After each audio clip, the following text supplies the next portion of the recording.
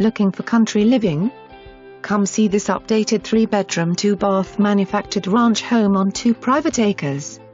Large living room with new laminate wood floors and brand new Vermont castings wood stove. Kitchen offers eat-in area and full wall pantry. Master bedroom has walk-in closet and large skylit bathroom, that's ready for your choice of spa tub. Two additional bedrooms are at other end of home, along with another full bath. Recently replaced furnace and water heater. Enjoy the views from your nice front deck. Flat cleared lot has fruit trees and two sheds for extra storage. Great commuter location and LOW taxes make this home a must-see.